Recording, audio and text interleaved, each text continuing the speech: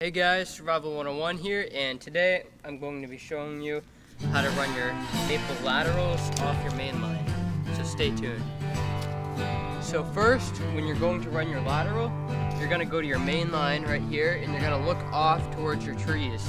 And you're going to find uh, roughly five maple trees that you want to tap.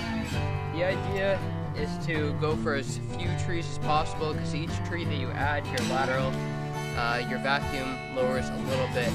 So, well, this is for a vacuum system, of course. With a gravity system, it's a completely different idea.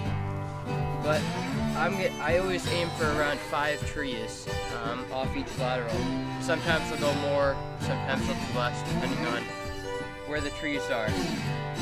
Now you're gonna have your um, lateral here, 5 16 tubing, and you're going to need a tool like you see here that clips onto your main line and then spins and will, will unspool your tubing.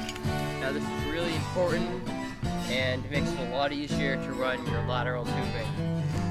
You're also going to need some clippers or a knife and a one-handed tubing tool for putting in the end line fittings. And fittings, which you can see here, we've got this one fitting here that's going to attach your lateral to your main line to take the tension off it, and then your end line fitting, which you can see here, just gonna go around your last tree and hold the tubing in place. So first, what I'm gonna do, take that and run it out towards my trees. So I'm gonna take my tubing, I'm gonna walk off in the direction of my trees.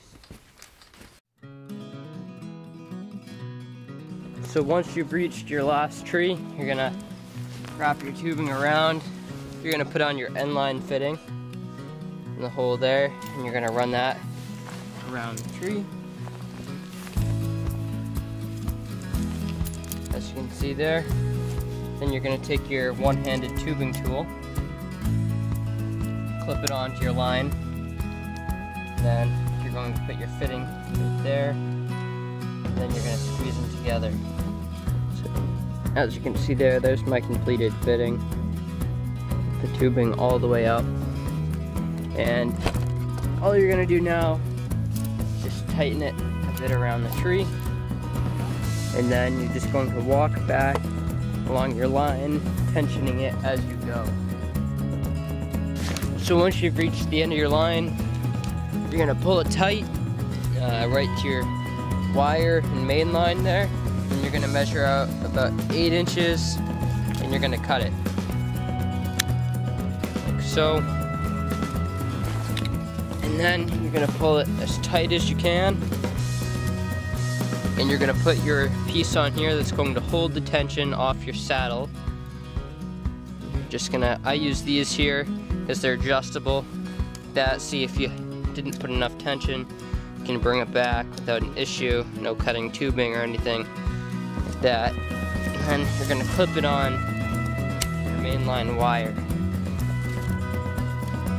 Like that.